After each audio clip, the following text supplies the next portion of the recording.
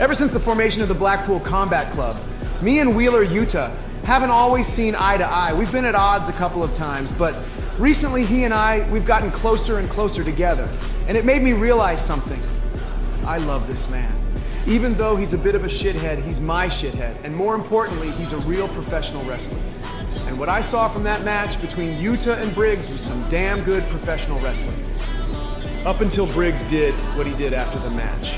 That was an act of an amateur, a real amateur, who showed his true colors after the bell. It's clear to me that I have to rid AEW of their amateurs, and now I have to rid the Supreme Wrestling Alliance of theirs. Antonio Briggs, if you have the balls to face another real professional wrestler, I'll be right here waiting for an amateur like you to step up to the plate. And I will kick your fucking head in.